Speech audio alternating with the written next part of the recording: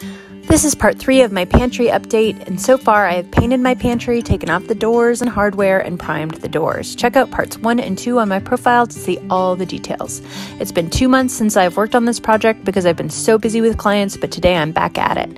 Since the doors have been sitting for so long, I started by vacuuming all the dust, then lightly sanding all the painted surfaces, and then vacuuming again. This will ensure a really smooth finish. The temptation when you're doing a project like this is to do a really heavy first coat of paint, and it's so much better if you do multiple light coats. It makes for a much nicer final surface. And be encouraged if you work on your own DIY projects, sometimes they take much longer than we hope they will, but they are always worth it in the end. Subscribe to Reclaiming Home for part four of this pantry update.